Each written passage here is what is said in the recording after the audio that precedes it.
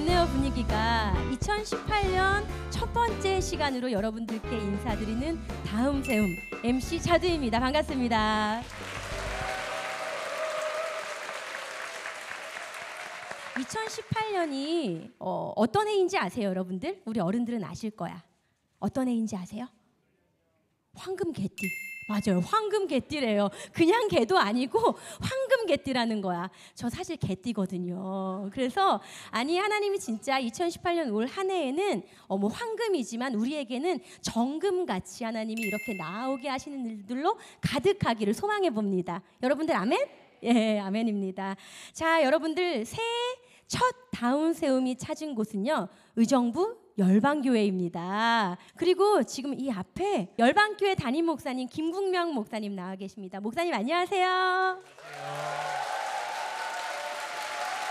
오.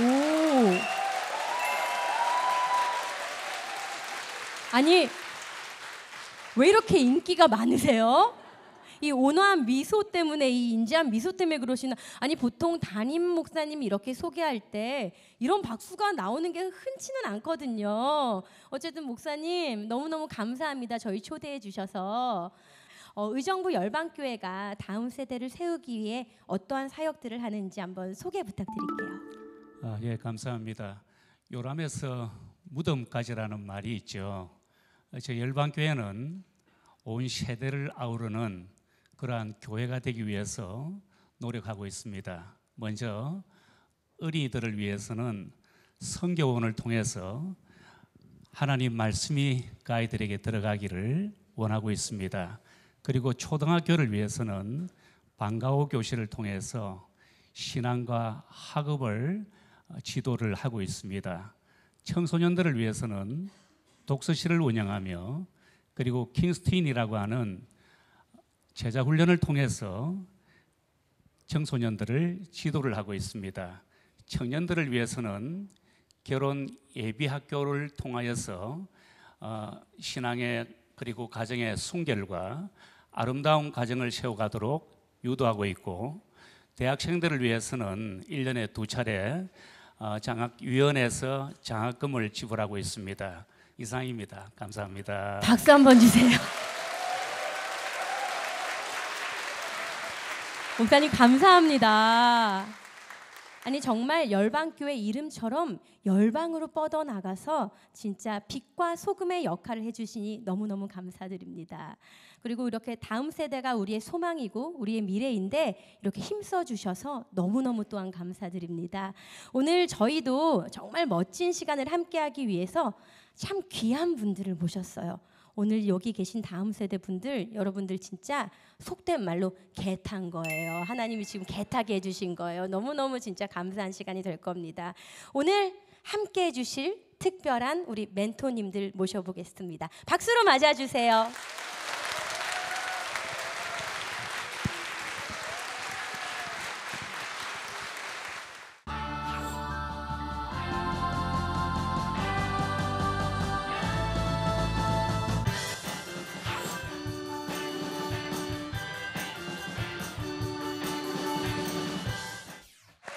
오늘 제가 희한하게 마음이 너무 좋아요. 즐거워요. 아무래도 두 분 때문이 아닌가 생각이 드는데 인사를 나눠보겠습니다. 차례대로 먼저 서종현 선교사님 반갑습니다. 예 반갑습니다 서정현입니다 반갑습니다 네.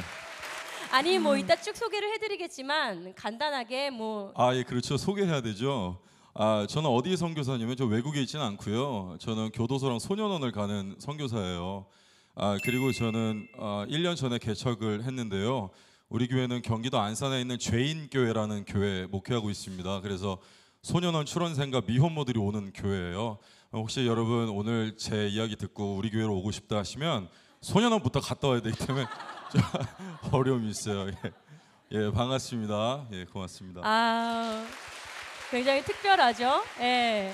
아니 근데 또 서중현 선교사님과 저는 나름의 짧지만 강렬한 인연이 있어요. 오랜만에 봬요, 그렇죠? 제가 네. 그때 결혼 준비할 때 뵀던 것 같아요. 맞아요.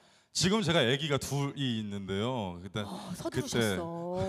저는 하자마자 그냥 예. 축복 받으셨어. 그 당시에 노래 만들 때 같이 뵙고 오랜만에 맞아요. 뵀어요. 네, 어, 되게 멋진 래퍼세요. 좀 이따 잠깐 들려주실 수 있을지 모르겠는데, 예. 그래서 아 저희가 함께했던 기억이 있는데 오늘 기대되고요. 그리고 여러분들 너무나도 낯이 익어가지고 입장하실 때부터 막 아 뭔가 되게 굉장히 반가워하셨습니다. 우리 개그맨 정범균 씨 안녕하세요. 반갑습니다. 반갑습니다. 개그맨 정범균입니다. 네, 저희 원래 매 교회마다 이렇게 같이 다니지 않으시고 오늘 특별 게스트로 오셨어요. 네. 먼저 맞습니다. 감사드리고 아닙니다. 어떻게 이렇게 이렇게. 저희한테 마음을 또 이렇게 쏟아 주실 수가 있으셨나요? 어 방콕에 있는데 전화가 왔어요. 응. 전화가 왔구나. 예, 국제 전화로 와가지고. 아 진짜 거기 많고 예, 진짜 방콕에 있는데. 국제 전화. 예, 국제 전화가 와서 섭외 네. 전화가 여기 작가님이 오셔서 네네. 일단은 모르지만 스케줄이 됩니까? 그래서 아, 일단 빨리 끊어야 되거든요. 어, 방콕은. 그치 그치.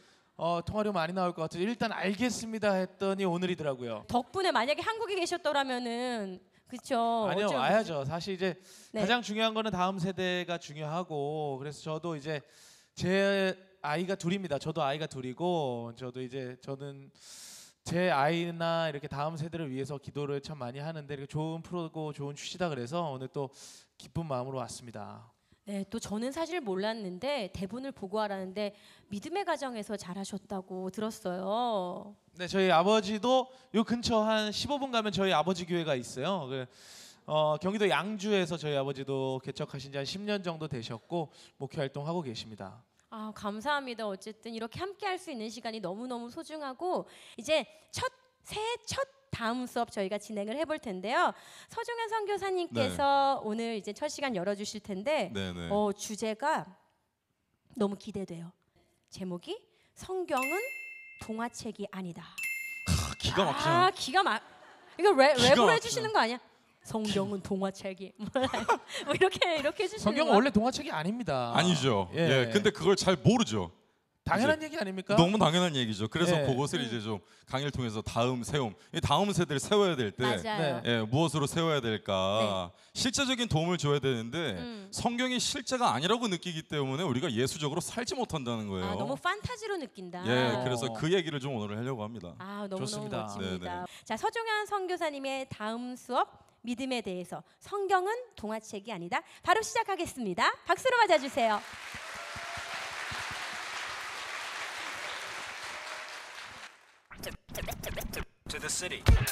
자, 끄덕거리세요 이렇게. 그렇죠. 음악 조금만 더 크게 할까요? Yeah. Let's go. 비틀 비틀거리는 세상 속에 미끌미끌거리는 유혹의 노래 던지고 주만 보는 날 보고 놀래 동네 방네 외칠래 내 사랑 고백 난 칼빈 마틴은 잘 몰라도 주께서 주신 리듬 속에서 니나노 난 뒤죽 박죽인 것 같아도 나는 예수를 입처럼 그리는 청년 피카소. 비트 위를 달리던 리듬의 마라토너. 난 다리는 절어도 절대로 믿음은 안 절어.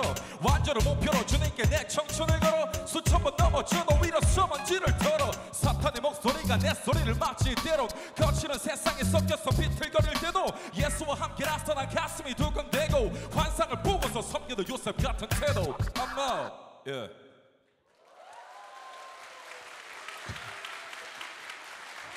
여러분 이게요 같은 힙합이라도 누가 하느냐에 따라 다른 것 같아요. 나 옛날에 기도 많이 했어요. 사람들이 네 선교사 되고 싶다고 그럼 똑바로 걸어. 선교사 되고 싶어 그럼 머리 길러. 선교사 되고 싶어 셔츠 입어 넥타이매. 나는요 뭐 어때냐면 이런 생각이 들었어요.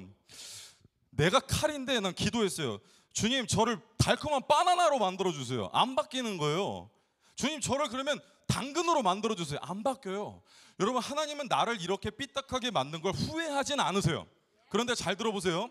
내가 칼일 때 이 칼을요 사탄이 들면 사람을 찔러 죽이는 거고요. 이 칼을요 의사가 들면 사람을 살리는 것처럼 내가 어떤 정체성에 속해 있는지가 중요하다는 거예요. 그런데 여러분 이 정체성이라는 게요 우리가 좀 더 생각해 볼 게 어떻게 하면 하나님의 정체성을 가질 수 있느냐 간단하죠 우리 개신교에서는 성경 안에서 하나님의 정체성을 배워야 한다고 가르칩니다 그런데 우리 청소년들이요 그리고 성도님들이요 왜 우리가 예수적으로 살아가지 못하고 단순히 종교적으로 살아가고 있느냐? 이유는 한 가지예요. 여러분 전 이런 말을 별로 안 좋아해요. 뭐 어, 뭐 복음으로 돌아가자. 여러분 근데요 복음은요 돌아가야 하는 옛날 게 아니에요. 복음은 여기에 있어요. 여기에 들어가면 되는 겁니다. 우리가 이 강의를 통해서 해야 될 것은 우리가 지금요 동화적으로 우리에게 인주되어 있는 예수를 만나는 것이 아니라 성경 안에 실제하는 예수에게 다가가서 손을 잡고 나와서 함께 이제는 2018년의 새해를 살아갈 수 있어야 된다는 얘기입니다. 한번 생각해 볼게요. 다윗이랑 골리앗이 싸우는 건 누구나 알고 있는 얘기예요. 그렇죠? 근데 이 다윗이라는 이 사람이 이 성경 속에서 그 골리앗이랑 싸울 때요. 고딩이에요. 근데 이 고딩이요. 고등학생이요. 이 돌을 들고 있어요. 돌이, 돌을 들고 있는데 뭐 이런 얘기를 합니다. 골리앗한테 이렇게 얘기해요. 저 할례 받지 않은 블레셋 사람은 누구간데 나의 살아계신 하나님을 모욕하느냐 이렇게 얘기를 해요. 근데 이걸 우리가 얼마나 동화적으로 보는지 아세요? 이런 식으로 상상을 해요. 저 할례 받지 않은 블레셋 사람은 누구간데 나의 살아계신 하나님을 모욕하느냐. 어떤 고딩이 이러고 싸워요? 지금 여기 고등학생들 있죠? 이러고 싸워요? 학교에서? 네가 새치기를 하였다. 안 싸워요 그렇게. 이 얼마나 실제적인 감이 없는 거냐고요. 여러분 혹은 우리가 어, 산상수훈이라고 일컬어지는 복에 대한 설교가 있어요. 예수님께서 넓은 벌판에서 얘기를 하세요. 예, 갈릴리에서 있었던 일이죠. 그런데 사람이 정말 많았어요. 정말 한두 명이 아니고 몇백이었단 말이에요. 거기 안에서 어떤 얘기 하시냐면 보통 뭐 어, 가난한 자에게는 복이 있나니 천국의 저들의 것이다. 아는 얘기죠, 우리가. 그렇죠. 근데 우리 상상 속에서 어떤 줄 아세요? 그 30대 초반의 젊은 남자가 한 비둘기 몇 마리를 거느리고 이렇게 걸어옵니다. 원피스 입고요. 그리고 이렇게 얘기하죠. 가난한 자에게는 복이 있나니 천국이 저들의 것이다. 500명이 있다고 생각해 보세요. 500명이 모여 있는데 마이크도 없는데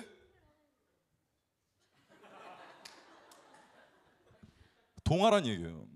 성경 속에 있는 이야기가 현실이 아니라고 믿는 것은 동화라고 인지하기 때문이에요. 왜 이런 상황이 벌어지냔 말이에요. 여러분 때때로 어떤 뭐 방학 때 되면은 뭐 단기 선교도 가고 그러잖아요. 이럴 때 보면은 아이들이 막 모여서 기도 열심히 해요. 뭐 가서 복음을 전하겠습니다. 막 열심히 하는데 제가 그런데 강의 가면 꼭 물어봐요. 너 너네 옆집에 누가 살고 있는 줄 아냐? 몰라요. 너 옆집 아저씨가 너 어떤 종교인 줄 알아? 몰라요. 너 밑에 1, 층에 거기 편의점 그 알바 오빠가 혹시 무슨 종교인지 알아? 너 맨날 보잖아. 몰라요. 여러분 이상하지 않아요? 나의 이웃이 어떤지도 모르는데 비행기 티켓을 끊어가지고 선교를 나간다고요. 그러니까 나의 이웃이 나의 바로 옆에 있는 사람이 어떤 영적인 상태인지 이해하기도 이전에 궁금하지가 않아요. 그럼 뭐예요? 선교가 그냥 레포츠라는 거예요. 나의 이웃은 나의 몸과 같이 사랑하라는 예수님의 이야기는 왜 동화적으로 전락되어 있는 거냐고요, 이거. 간단한 겁니다. 우리가 성경을 동화로 인지하기 때문이에요. 이 문제가 왜 일어나는지에 대해서 다시 한번 좀 면밀하게 살펴보죠. 첫 번째, 지식에는요 세 가지 종류가 있습니다. 첫 번째가 관찰 지식이고, 두 번째가 절차 지식이고, 두 가지의 단점을 보완하는 세 번째가 대면 지식이에요. 첫 번째, 따라합니다. 관찰 지식. 이 관찰 지식은 간단해요. 어, 책을 봐서 아는 거, 뭐 이런 거죠. 자, 여러분들이 서점에서 어, 혹은 제 책을 사서 읽었어요. 그럼 저를 아는 게 되죠. 그러나 그것은 오해가 생겨요. 그렇죠? 정말 모르는 걸 수 있어요. 여러분 피카소를 아시죠? 이게 지금 관찰 지식이에요. 여러분들은 피카소의 인격에 대해서 잘 알 수 없어요. 저도 마찬가지고요. 우리가 책을 봐서 아는 거예요. 이거는 오해가 생겨요. 이 관찰 지식이에요. 그렇죠? 오해가 생깁니다. 두 번째 따라합니다. 절차 지식. 이 절차 지식은 뭐냐면 이 절차 지식이라는 건 이제 아, 몸을 움직여서 알아요. 그러니까 예체능이죠. 실수가 없을 것 같죠? 그런데 있어요. 왜냐? 절차 지식의 맹점은 짝꿍이 없다는 거예요. 예를 들어서 100m 달리기를 360초에 뛰는 사람이 있다고 생각해 봐요. 너무 오래 걸리는 거죠. 그렇죠? 그런데 얘가 맨날 혼자 뛴다고 생각해 봐요. 그럼 얘는 자기가 잘 뛰는지 못 뛰는지 몰라요. 그렇죠? 짝꿍이 없으면 알 수가 없어요. 이게 절차 지식이에요. 몸을 통해서 하는 것 같아서 알 것 같은데 오해가 없을 것 같은데 결국에 모르는 거야. 이게 절차 지식입니다. 자, 세 번째 따라합니다. 대면 지식. 만나서 하는 거예요. 오해가 없어요. 만났기 때문에 오해가 있을 수가 없는 거예요. 자, 복습 한번 해보죠. 자, 영어 공부하는 거. 영어 공부하는 건 관찰 지식일까요? 대면 지식일까요? 두 개가 다 합해져야 되긴 하지만 기본적으로는 대면 지식이에요. 여러분 우리가 아무리 책 보고 Hi, how are you? I'm fine. Thank you, and you? 외국 나가면 이런 말 잘 안 써요. 우리나라 말로 바꾸면 얼마나 재밌어지는지 아세요? 처음 만났는데 여러분 이렇게 인사하세요. 안녕하십니까? 예, 안녕합니다. 너희 하루는 어떻습니까? 전 정말 좋은데. 안 그래요. 보통 뭐냐면 잘 지냈어? 아니면 실제로 대면 지식으로 만나보면 Hi, doing? What's new? 뭐 이렇게 얘기할 수 있겠죠. 대면 지식으로 만나면 우리가 실제로 관찰 지식으로 알던 거랑은 다를 때가 많다는 얘기예요. 그럼 태권도 겨루기 하는 거 이거 절차 지식일까요? 대면 지식일까요? 대면이죠. 그렇죠. 자, 그러면 혼자서 샌드백을 치는 건 절차 지식이죠. 샌드백 혼자 열심히 쳐놓고 내가 싸움 잘해 오해예요. 오해일 수 있는 거예요. 그렇죠? 대면 지식이 가능해야 우리에게는 오해가 안 생긴다는 얘기예요. 우리에게 물어봅니다. 여러분은 왜 예수적으로 살지 못하고 있죠? 우리가 관찰 지식으로 예수를 이해했거나 절차 지식으로 예수를 이해했기 때문이라고요. 예를 들어 볼게요. 관찰 지식으로. 자, 아, 좀 죄송스러운 말씀이지만 성경을 관찰 지식으로 이해하면 말 그대로 이단이 되는 거예요.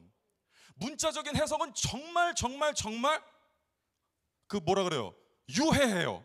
안 좋습니다. 자 보세요. 어, 우리가 잘 알고 있는 이단이 14만 4천이라는 숫자에 대해서 얘기하죠. 그 14만 4천이라는 그 숫자가 굉장히 중요하다고 생각을 합니다. 그렇죠? 요한계시록에 있는 숫자예요. 그런데 여러분, 이 14만 4천은 말 그대로 14만 4천 명을 의미하는 문자적인 의미가 아니라는 얘기예요. 그럼 14만 4천은 뭐냐? 성경 안에 열둘이라는 숫자는요, 완전한 숫자가 됩니다. 그래서 열두 제자, 열두 지파 다 같이 먹고 열두 광주리가 남아요. 그럼 14만 4천은 왜 나온 숫자냐? 열두 지파가 만 2천 명씩 모든 지파원을 기다리고 계시는 하나님을 의미하고 있다는 거예요. 앞과 뒤의 문맥을 살펴봐야 된다는 얘기죠.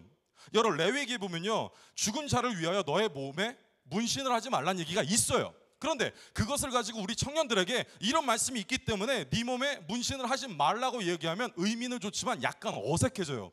왜냐면 그때 당시의 의미는 뭐냐면 이런 거예요. 그때 당시의 사람들은 신분증이 없어요. 그래서 할례를 하거나 귓볼을 자르거나 인두질을 하는 것으로 이 사람이 어떤 민족인지를 얘기하고 있단 말이에요. 그러니까 여기서 너의 몸에 인을 새기지 말라는 것은 이스라엘 민족이기를 거부하지 말라고 얘기하고 있는 거예요. 그러니까 이때 교훈은 문신하지 말라가 아니라 하나님을 떠나지 말라가 되는 것이죠. 그렇죠? 관찰 지식으로 이해하면 불편해진다는 얘기예요. 그럼 절차 지식은 이런 거 있죠. 우리가 성령의 은혜라고 얘기하고 성령님께서 내게 주셨다고 하는 많은 것들이 실제로는 하나님은 만나주지 않았지만 절차 지식으로 나 혼자 결정한 거일 수 있다는 얘기예요. 점검하고 또 점검하고 또 점검해야 돼요. 제가 한 번은요, 여러분 대학교 가시면은 얼마나 조심해야 되냐면 제가 어떤 그 대학 그게 이단도 아니에요. 되게 유명한 어떤 단체였는데 거기서 제가 설교를 했어요. 설교하고 내려왔는데 그 대표 대표 간사님은 아니고 어떤 간사님이 올라와서 기도 집회를 인도해요. 근데 이런 얘기를 하는 거예요. 여러분 뭐 불을 끄고 기도합니다. 안 이상하죠. 근데 조금 있다 뭐냐면 여러분 이제는요 손 잡고 기도합니다. 아무것도 안 보이는데 그래서 짝기도라는 걸 한대요. 그래서 그런가 보다 했어요. 그런데 이러는 거 여러분 하나 둘 셋 하면 불을 켭니다. 그때 눈앞에 있는 것이 이성이면 하나님께서 주신 배필일 수 있습니다. 이게 뭐예요? 하나님은 얘를 안 만나줬다니까. 자기 혼자 그렇게 느끼는 거예요. 그렇죠?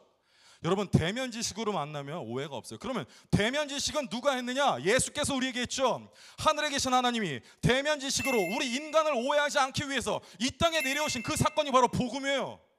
하늘에 계신 하나님이 대면 지식으로 인간을 만나기 위해서 이 땅에 오신 그분이 바로 예수님이라고요. 그래서 우리는 그 두 가지를 엮어서 예수 복음이라고 말해요. 예수 복음을 얻은 자들은 성도라고 말한다고요. 성도들이 궁극적으로 얻은 것이 무엇이죠? 구원입니다. 그렇다면 구원을 얻은 이 사람들은 성경에 나타난 예수의 모습대로 살게 되어 있다는 얘기예요. 다시 한번 말씀드립니다.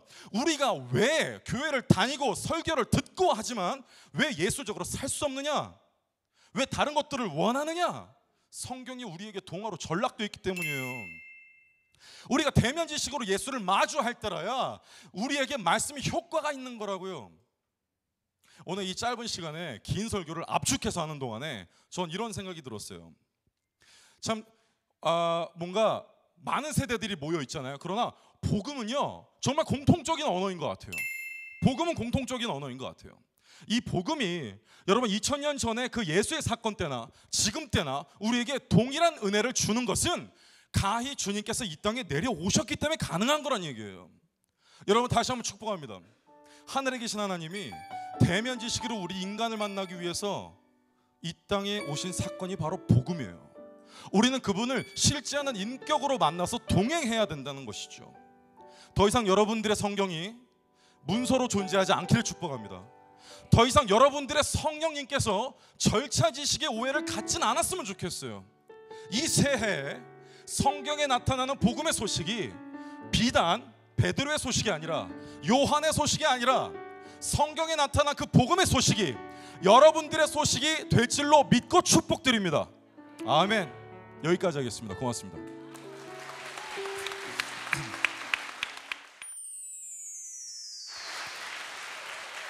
저 지금 목이 메일 뻔했어요. 여기 뭐가 가득 고였나 봐. 너무 너무 너무 너무 너무 무지 무지 무지 무지 시원했습니다. 고맙습니다. 저만 네. 시원했나요? 여러분들 좀 속이 시원하셨나요?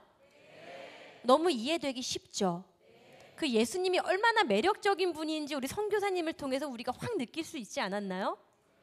너무 멋있을 것 같아요. 근데 음, 음성이 왜 이렇게 좋으세요? 다시 한 번만 해주실 수 있어요? 어떤 거요? 그거 성경에 우리가 듣, 듣는 성경으로 들었던 그거 있잖아. 성우분들이 하셨던 거. 아 어떻게 하시는? 어떻게 했었지 내가 아까? 아우, 가라. 저- 저- 가난한 자에게는 복이 있나니 천국이 저들의 것이다. 어, 왜 이렇게 잘하세요? 타고난 거죠. 아 그래요? 그러니까 하나님이 다 주시는 거야, 그렇죠? 아우, 저 계속해서 이렇게 떠들고 싶은데 말입니다. 아니, 어, 아니 우리 정범균 씨가 네네. 저와 같이 올라오지 않으시고 지금 그 구역을 맡아 주신다고 지금. 아 사실 네. 지금까지 관찰, 관찰, 그 다음에 그 다음에 절차, 그 다음에 대면으로 네. 나눴잖아요. 근데 지금은 사실 저희가 대면이 없었어요. 왜냐 맞아요. 이야기를 듣기밖에 안 했기 때문에. 음. 그래서 이제 우리 열방교회 식구들과 대면에 좀 시간을 좀 가져볼까 합니다. 어, 좋다. 네. 아, 목사님 아드님 맞아요. 그러니까 네. 아니 단에 올라오셔도 충분하네. 어, 네, 네. 예. 아 그래서 안 올라가려고 준비 중이에요.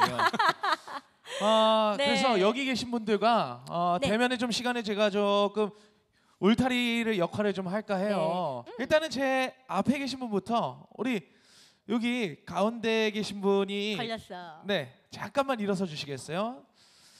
첫 대면입니다. 아, 박수 한번 열방교회 첫 주세요. 대면자예요. 이름은 어떻게 되세요? 저는 박세진이라고 합니다. 우리 세진 씨 올해 나이는 어떻게 되시고요?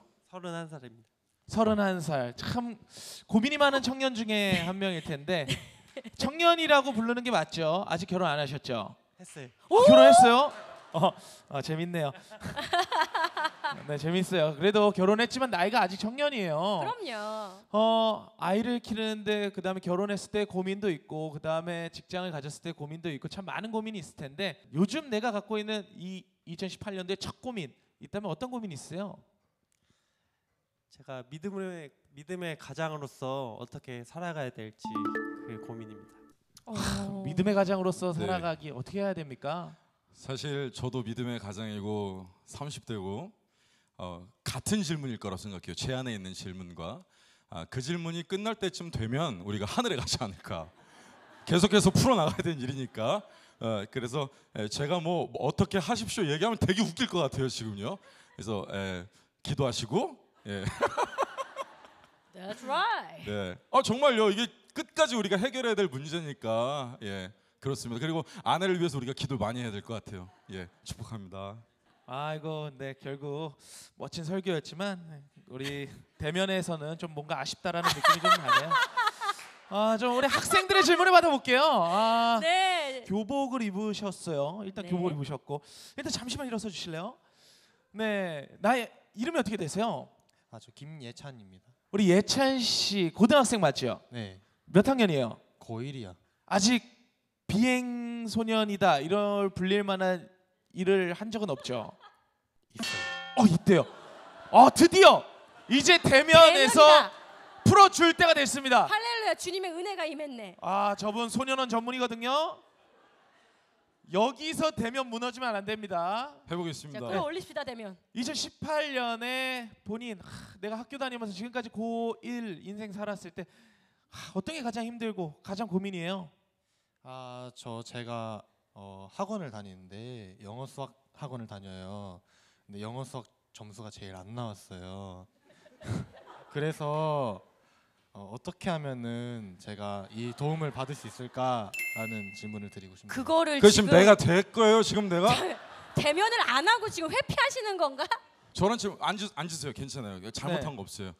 저런 질문이 왜 나오냐면 내가 무엇을 해야 하는가, 난 어디로 가야 하는가, 이 성적이 나에게 어떤 충격을 주는가, 도대체 이것은 나에게 얼마나 영향이 있는가 이런 생각이 들어요.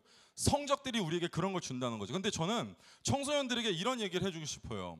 아, 하나님께서 우리 인간에게 성경 속에서 가장 처음 하신 질문이 뭐냐면 네가 어디에 있느냐라는 질문이에요. 근데 네가 어디에 있느냐라는 이 질문을요 히브리어 원어로 보면 아이에카라고 돼 있어요. 아이에카의 아이가 어디라는 뜻인데 이 어디는 정확하게 번역하자면 하나님께서 지정하신 당신의 장소예요. 그러니까 네가 어디에 있느냐라는 뜻은 어떻게 되냐면 너는 너는 내가 지어준 너의 모습 그대로 내가 너에게 지정한 너의 장소에 있느냐라는 뜻이에요. 학생 시기에 우리가 고민해야 되는 것은 물론 점수도 중요해요. 그러나 우리는 더 많이 뭘 고민해야 되냐면 하나님께서 지어주신 내 모습은 어디에 있느냐라는 거죠. 우리 모두의 공통적인 사명은 하나님께서 지어주신 내 모습 그대로 내게 주신 그 길을 걷는 겁니다. 그게 우리 모두의 공통적인 사명이자 찬양이에요. 그래서 뭐좀 아, 본질에서 좀 질문에서 흐려질 수도 있겠지만 제가 드리고 싶은 답변은 그래요. 어떤 성적이나 이런 것들의 매기보다도 나의 어떤 하나님께서 만들어 주신 모습을 찾아낸 것에 좀 더 집중하면 좋겠다라는 말씀을 드립니다. 네, 어, 감사합니다. 우. 아, 결과론적으로 질문에 뭐 영어와 수학의 점수를 높이고 싶어요와는 사실 다른 대면이었지만 저희가 어쨌든 은혜로서 만족스러우십니까? 아, 예, 만족합니다. 아이가 뭐야? 아이 내가 뭐? 만족합니다. 아이 고 만족합니다. 네. 아니 그러면 사실 감사해요. 부모님들도 계시니까 맞아요. 부모님들도 계시니까 우리 아이에 대해서 사실 우리 아이가 좀 방황을 한다든가 이럴 때 아니면 옆집 아이가 방황을 한다라고 생각을 해보시고 중고등학생을 키우시는 어머니 아버님은 안 계시나요? 이쪽에 손 안 드시는데 막 뒤에서 등을 치 너잖아 집사님 키우잖아 막 이러고 있어요 지금 여기 노란 옷 입으신 어머님은 노란 옷 입으신 어머님은 지금 자녀분이 몇 학년 몇 반일까요? 네. 아 그럼요. 노란 옷이 단 한 명이에요. 네. 애석하게 단 한 명입니다. 우리 그러면 딸인데 아들 같은데 딱 한 가지 우리 딸이 요 정도만 좀 바뀌었으면 하는 거 있으면 한 가지만 좀 이야기를 해주실 수 있을까요? 아, 너무 힘들어가지고요 전학을 보내버렸어요. 그 정도예요. 힘든데 전학을 왜 보내요? 집에서 내보내는 게 속편하지 그럴 거면. 그럴 거면 집에서 내보내지 왜 학교에 내보내요? 아니 학교를 왜 전학 보내신 거예요? 뭐가 이렇게 힘들게 했길래? 아, 지, 저기 제가요 너무 열이거든요. 그래가지고요 애를 애한테 져요. 그래서 어, 고2인데 이제 고3인데 공부를 안 해가지고 공부 안 하는 것까지 좋은데 이제 친구들하고 너무 어울려 다니고 막 이래가지고 아, 친구랑 이제 멀리 이제 떨어져 있으면 안 돌아다닐 것 같아서 이모네 집 있는데 아주 먼 데로 보내버렸어요. 아 학교도 보내고 집에서도 보냈군요. 아 사실 이거 자체가 굉장히 고민입니다. 이때 어떻게 하면 조금 더 주님께 오고 엄마에게 오고 네네. 할 수 있을까요? 예, 앉아서 들으셔도 됩니다. 제가 어, 어떻게 하다 소년원 사역하게 되냐면 저는 칼에 처음 찔린 게 중학교 2학년 때예요. 중학교 2학년 때 처음 칼에 찔리고 24살 때 정신병원에 입원을 했어요. 거기서 하나님을 만났어요. 제가 처음 칼에 찔렸을 때 우리 어머니가 응급실에서 내가 봉합을 하고 있을 때 하신 말씀이 너는 내 아들이기 이전에 하나님의 기업이다라는 말씀이었어요. 근데 그 말씀이 없었다면 그 말씀이 공급되지 않았다면 내가 어, 아마도 하나님을 잘 몰랐을 것 같아요. 그런데 음, 좀 실제적인 조언을 드리죠. 아, 어른들이 물어봐요. 제가 이제 학부모 상담을 많이 하니까 음악 치료를 하다 보니까 상담을 많이 해요. 심리 치료의 분야니까요. 어, 어른들이 물어봅니다. 청소년들은 너무 규칙이 없어요. 여러분 어떻게 생각하시는지 모르겠지만 애들은 주법 정신이 약하고 우리 가정에서의 규칙을 어기려고 해요. 너무너무 힘들어요. 그렇게 얘기하거든요. 일단 첫 번째. 청소년들과 대화가 바르게 될 거라고 생각하는 것 자체가 정상이 아니에요. 불가능한 거예요. 전혀 우리 청소년 사역자들이 농담이지만 뼈가 있거든요. 우리가 중학생들을 뭐라고 부르는지 아세요? 중고딩들을 좀비라고 불러요. 왜냐면 자 첫 번째 잘못 건드리면 큰일 나요. 두 번째 자기들만의 규칙이 있어요. 두 번째 한번 집중해 보세요. 애들이 규칙이 없다고요? 여러분 잘 들어보세요. 처음에 태어나서 아이와 엄마는 탯줄을 끊어요. 그런데 그 탯줄을 끊는 것이 정신적인 탯줄을 끊는 건 아니에요. 그 탯줄이 계속해서 이어져 나갑니다. 학령기 아동, 6학년이라고 대부분 봐요. 그때까지는 그냥 문자적인 사고를 해요. 예수는 살아계신다, 끄덕거린다고요. 그런데 청소년기가 되면 사람이 그 추상적인 사고를 처음 시작해요. 이때 생기는 역동이 어마어마하다고요. 이게 뭐지? 저게 뭐지? 고민이 생겨요. 근데 그러면서 이 사람들은 이 청소년기의 사람들은요. 비로소 실제적인 탯줄을 끊고 나의 독립된 어떤 곳을 찾기 시작해요. 그러니까 이 아이들이 정말로 여러분 생각처럼 규칙을 싫어한다면 왜 지난 겨울 우리의 청소년들은 국가적인 규모로 롱패딩을 입었을까요? 청소년들은 내가 원래 있었던 곳에서 규칙을 어기는 동시에 나의 정체성을 어딘가에서 찾아요. 그게 또래 집단이에요. 그런데 그 또래 집단으로부터의 이탈감이요. 이 아이를 망쳐요. 저 지금 좀 심하게 얘기하는 거 아니에요. 더 심하게 얘기할 수도 있어요. 제가 만나고 있는 아이들은 대부분이 그런 과거를 가지고 있어요. 그러나 부모님들이요. 이 아이가 새롭게 생성한 그 또래 집단을 용인해주고 인정해주는 경우에 어떤 현상이 일어나느냐? 이 또래 집단에서 문제가 생겼을 때 가족에게 조언을 구해요. 그러니까 자신의 또래 집단이 생겼으나 가정의 역할이 제대로 이루어지고 있는 것이죠. 만약에 아버지가 있다고 가정해 볼게요. 그 아버지에게 회사는 회사일 뿐이지 가정은 아니에요. 회사에서 있는 이야기들을 가정과 나눠야 되는 게 중요한 겁니다. 그렇죠? 너무너무 자명한 사실이죠. 아이들도 똑같아요. 그 또래 집단이 영이 된 상태에서 그 문제점을 가족과 나눠야 돼요. 그런데 또래 집단에서 이탈된 경우 그리고 그 또래 집단에서 이탈을 자행한 것이 자행이 아니라 어, 그렇게 행동할 수 있게 한 것이 만약에 내 부모일 경우 더 커다란 거리감이 생깁니다. 물론 지금 어머니께서는 당연히 방법이 없었을 거예요. 힘들어요. 그러나 지금부터라도 그 아이를 이해하고 그 또래 집단을 이해해야 돼요. 예를 들자면 어디까지 해보셨는지 제가 알 수 없지만 그 친구들과 밥을 먹거나 초대해서 밥을 해주거나 그러니까 그 아이가 내 아이에게 나쁜 악영향을 미치기 전에 우리 어머니의 의견은 뭐였는 줄 알아요? 네가 가장 악한 애야. 네가 내가 그랬어요. 너는 어머니는 왜 다른 애들 욕 안 해요? 네가 제일 나쁘니까 네가 물들이고 있는 거라고 생각해 나는 실제로 그랬는지도 몰라요. 그렇지만 우리에게는요. 우리에게는 나의 아이가 라는 시선이 좀 더 필요하다고 생각해요. 내 아이가 선택한 그 또래 집단을 이해해주고 용인해주는 게 필요하다는 얘기죠. 예. 와 감사합니다. 네, 아유. 기술이 아니라 마음에 대한 얘기였어요, 그렇죠? 우리 어머니 충분히 잘 하실 수 있을 것 같아요. 지금 같은 헤어스타일이면 제가 볼 때 마음 열고 애들 한번 밥 한번 쫙 아, 지금 먹이세요. 많이 좋아졌어요. 전학 아. 가서. 네, 네, 어머니 진짜 축복합니다. 올해 딱 지금 2018년도와 가장 어울리는 드레스 코드입니다. 황금개띠에 가장 어울리는 황금 옷이세요. 너무 너무 좋고 그러면 다음 이번에는 진짜 패딩 세대 질문 한번 들어볼게요. 우리 어, 패딩 세대의 질문이 해주실 여학생에게 질문 한번 들어볼게요. 사실 이번에는 마이크를 잠깐 우리 네 친구에게 잠시만 일어서 주시겠어요? 우리 패딩 입고 왔거든요. 이름이 어떻게 되세요? 양예진이요. 예진 씨. 우리 예진 씨는 학년이 중학교 2학년. 중학교 2학년. 조금 더 내려가 볼게요. 본인 좀비라고 생각하세요? 아니요, 전 착하게 살아요. 맞아요. 중학생들은 본인이 좀비라고 생각하지 않아요. 그렇다면 요즘 중2로서 그 다음에 교회 다니는 내가 딸과 자녀로서 믿음의 고민이나 학교의 고민 어떤 것들이 좀 있으세요?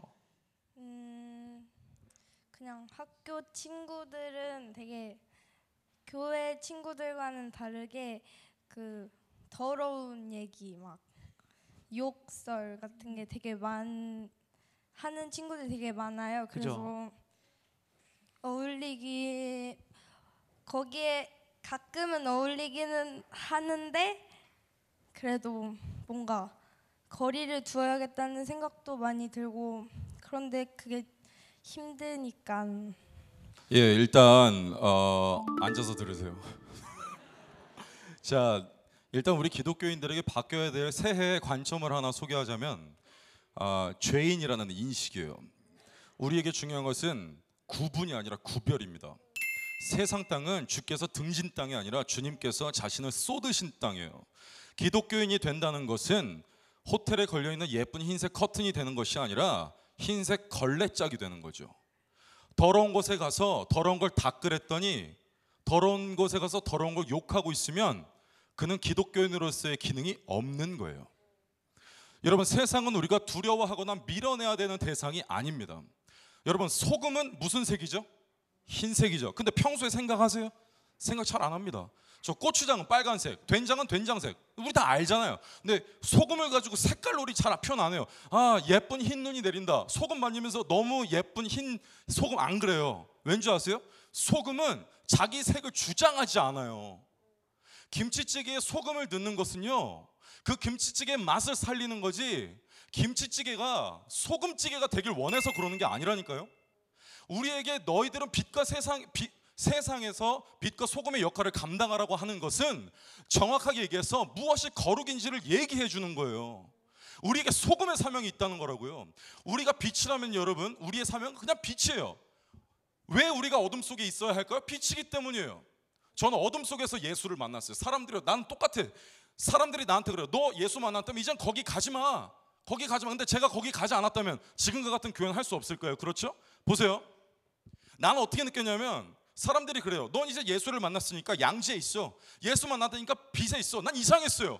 내가 빛이 된 이유는 빛이기 때문이에요. 그냥 빛의 자리는 어둠이라고요. 그런데 내가 빛이 됐으니까 빛들과 있다면 여전히 예수는 빛으로서 어둠 속에 계시는데 그럼 나는 예수를 고려장시키는 거 아니에요 지금? 나를 구원하신 나의 영적인 부모를 어두운 곳에 내려두고 나는 나와 있겠다는 거잖아요. 여러분 통계를 보면요 한국 교회가 많이 위축되고 있다고 해요. 청소년들, 청년들 많이 없어진다고 해요. 근데 그 통계를 제가 사실은 많이 인정하지 않아요. 왠지 아세요? 깊은 곳까지 외곽까지 채점이 이루어지질 않아요. 왠지 아세요? 기존의 교회들이 거기까지 복음이 가고 있다는 상상 자체를 안 하거든요. 여러분 제가 종로 활락가에 토요일 날 오시면 절 볼 수 있다면 믿으시겠어요? 제가 십몇 년 동안 이 일을 하면서 활락가에서요 예수를 전하는 사람을 본 일이 없어요. 전혀 없어요. 제가 한 번은요 방송에서 그 매춘 글에 들어가서 그 몸을 파는 여성 직업 여성을 전도하는 내용을 동의하에 녹음해서 방송을 내보낸 적이 있어요. 그분에게 물어봤어요. 누군가 다른 사람이 이곳에서 예수를 전하는 게 경험한 적이 있냐? 없는데 내가 얼마 전에 너무 죄스러워서 교회를 가서 기도를 했다. 우리 목사님이 그러는데 어디에나 하나님이 계신다고 하는데 그러면 내가 일하는데도 하나님이 있다는 걸 보여줘야 되지 않겠냐? 라고 하고 내가 들어왔답니다. 어둠이 바로 빛이 있어야 할 공간이에요. 제가 만약 그곳은 더럽다고 가지 않았다면 하나님의 그 계획과 하나님의 운행하심이 온전히 이루어졌겠어요? 우리가 고민하는 것은 그들과 섞거냐 말 거냐 하는 것이 아니라 소금으로서 거기에 뿌려져서 내 색을 내지 않고 사라지는 거예요. 여러분들의 색을 내려고 하는 것이 아니라 그것을 생명으로 더 맛있게 바꿔내세요. 그게 우리 기독교인들이 해야 되는 일이라는 겁니다. 여기까지 하겠습니다. 아멘이다. 네, 아. 아멘. 어우 시원해. 오 시원해. 어, 그러니까 뭐 욕을 하란 얘기입니까 말란 얘기입니까? 그러니까 그거를 쉽게 이야기를 해주세요. 이건 하지 마세요. 네, 네, 아. 하지 마셔야 네, 돼요. 안 하는 건데 네. 굳이 뭐 하라고까지 할 이유는 없죠. 네. 아. 어, 마지막으로 한 분 정도만 저희가 조금 질문을 받아볼게요. 사실 여기는 지금 제가 헷갈려서 그런데 아드님과 어머님이세요? 아 같이 오신 분이 있어요. 아드님과 어머님 같이 오신 분이 있어서 두 분이 동시에 잠깐 일어서 주실래요? 사실 아드님도 잠깐만 어, 아드님이 굉장히 지금 약간 따뜻한 표정으로 앉아 계신데 엄마랑 이렇게 같이 온다라는 게 이 시간이 얼마나 소중한지 저는 지금 알지만 친구는 또 모를 수도 있어요. 친구는 지금 몇 학년이신가요? 잠깐 마이크를 조금 친구에게 주실래요? 친구 지금 몇 학년이세요? 중1이요. 중1이고 어, 어머니 보실 때 우리 아들 어떤 점이 가장 마음에 드세요? 음, 착해요. 어, 네, 말도 잘 듣고 그냥 아드님이 보실 땐 엄마의 어떤 점이 가장 좋으세요? 사실 이 관계가 회복되기 위해서 어떻게 해야 되는지 부탁드리겠습니다. 질문 듣지 않고 이 관계에 대해서 회복을 부탁드릴게요. 앉으셔도 돼요 이제. 예. 아 이대로 앉으시나요? 예, 아, 질문이 필요 없어요. 사실 이 관계는 소통의 부재일 수 있겠다라는 제 네, 네. 느낌이었거든요. 네네 충분히 이해가 돼요. 왜냐하면 대부분의 어, 학부모님들과 얘기하면 나는 내 애를 제일 잘 알거든요. 학부모들이 다 나는 우리 애를 제일 잘 알아요. 저도 그런 것처럼 느껴져요. 왜냐하면 얘가 세포였을 때부터 난 얘를 알았고 얼마 지나지 않아 얘는 시각이 없는데 저는 초음파로 다 보고 있었어요. 나는 얘를 잘 아는 것만 같아요. 그러나 아니에요. 우리에게는 새해에 두 가지 관점이 필요하다고 생각해요. 첫 번째 인정하세요. 모르는 걸요. 우리는 알 수 없어요. 이걸 인정하게 되면 무슨 상황이 발생하는지 아세요? 이 아이가 나의 아들이기 이전에 하나님의 기업이라는 사실이 확증돼요. 여러분 보세요. 예배 중에서 가장 필요한 예배, 2018년에 제일 필요한 예배가 저는 뭐라고 생각하느냐? 당신 청소년 사역자니까 청소년 예배 좋아하지? 아니에요. 전혀 모든 세대가 모여서 예배하는 게 정말 많이 필요하다고 생각해요. 예배 안에서 내 아버지가 여러분 보세요. 여러분 정말로 내 아이에 대해서 잘 아세요? 그러면 여러분들의 아이가 언제 예수님을 어떤 방식으로 만났는지 구체적으로 아세요? 몰라요. 몰라요. 그리고 만약에 예를 들어 저 같은 경우에도 내 딸이 나중에 고등학생이 되고 대학생이 됐어요. 예수 믿는다고 고백을 해요. 그런데 얘가 어떤 어떻게 해서 예수를 제대로 알게 되고 이런 거잘 몰라요. 이 친구의 종교적인 성향도 잘 모를 수 있어요. 그렇죠? 근데 예배 안에서요. 본질적으로 예배라는 그 울타리 안에서 우리가 서로를 교감할 수 있는 능력이 길러진다면 굉장히 좋을 거라는 거예요. 제가 많은 사람들을 치료하고 치료했다라기보단 치료를 돕고 또 심리적으로 안정감을 주고 있지만 제가 종국에는 결국에 뭘 얘기할 것 같아요? 결국에 교회 안에서의 예배를 주장합니다. 이 이유는 뭘까요? 제 입장에서 제가 선교사라서 혹은 목회자라서 맞을 수 있어요. 그러나 우리가 예배 안에서 예배 안에서 함께 그 어떤 종교성이랄까요? 종교성이라고 하면 약간 부정적으로 들리겠지만 그 예배 문화를 공유하는 건 정말 귀한 경험이라는 거예요.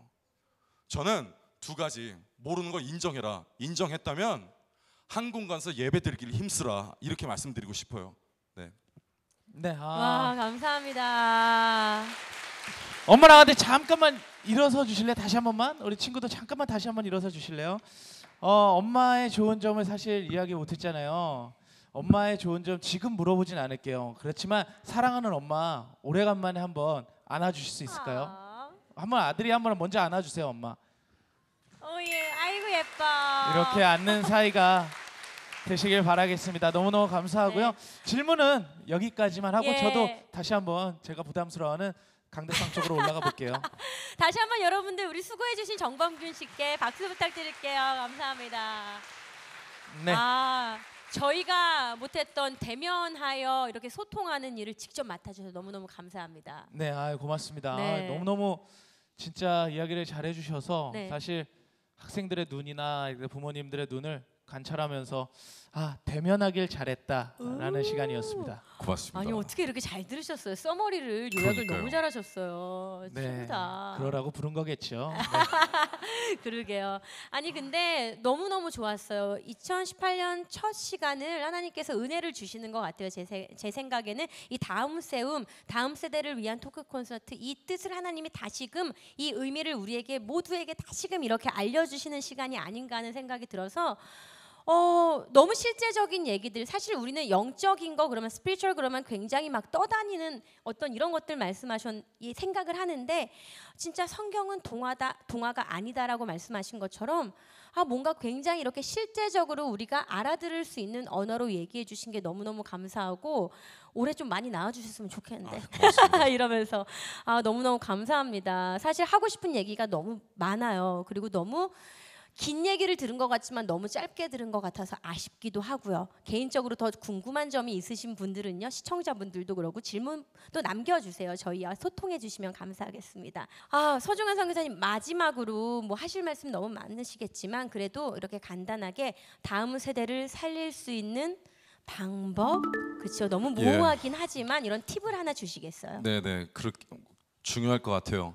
아, 시간이 한정적일 때 이야기를 계속하다 보면 빼먹는 얘기도 많고, 근데 그런 것들을 좀 제가 지금 할 이 이야기로 약간은 그래도 어, 더 보충 설명이 될 것 같은데 제가 중간에 범죄 범죄 범죄란 얘기를 많이 썼어요. 근데 이것을 아예 나쁘게는 생각하지 마시고요. 우리 모두에게 열려 있는 거예요. 이거는요. 범죄라는 거 뭐냐면 기존 사회가 정해놓은 그 규율을 어기는 거죠. 그런데 어기는 원인들이 다 있잖아요. 근데 청소년들이 그것을 어길 때는요, 어른들처럼 뭔가를 얻기 위해서 어기는 것이 아니라 기존에 내가 있었던 그 규율에 반대되는 행동으로서 어길 때가 많아요. 그러니까 범행을 하기는 하는데 그 범행이 직접적인 그 원, 원인과는 연관이 없을 때가 있다는 거예요. 그래서 우리가 청소년들을 바라볼 때 나쁜 마음으로 얘는 어, 범죄자가 될 수도 있다라는 것이 아니라 우리가 만약 그들에게 관심을 잃어버린다면 그들은 이탈 행동을 할 수도 있다는 가능성을 보고 하나님의 눈으로 그들을 바라봐 주세요. 쓰레기로 보면 썩는 거고요. 씨앗으로 보면 핍니다. 그래서 우리의 눈이 그들을 씨앗으로 보는 게 필요해요. 그들에게 왜 비가 내리고 있냐면 씨앗이기 때문이에요. 생명이 아니라면 하나님 비를 안 줘요. 돌멩이가 아니라 씨앗이란 말이에요. 그래서 우리의 눈이 쓰레기로 그들을 보지 말고 범죄라고 하니까 계속 아 그럼 이렇게 안 되면 뭐 쓰레기가 된다는 얘기는 이렇게 이해하지 마시고 우리들의 눈이 그들을 좀 더 안타까운 마음으로 봤으면 싶다라는 말씀을 좀 드립니다. 네. 감사합니다.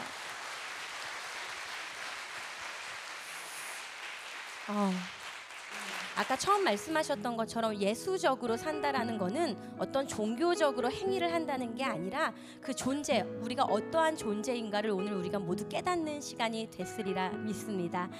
다음 세대를 위한 토크 콘서트 다음 세움 오늘 진짜 주님께 너무나 감사한 시간이었습니다. 저희는 또 귀한 시간 기대하면서 다음 주에 만나 뵙도록 하겠습니다. 감사합니다.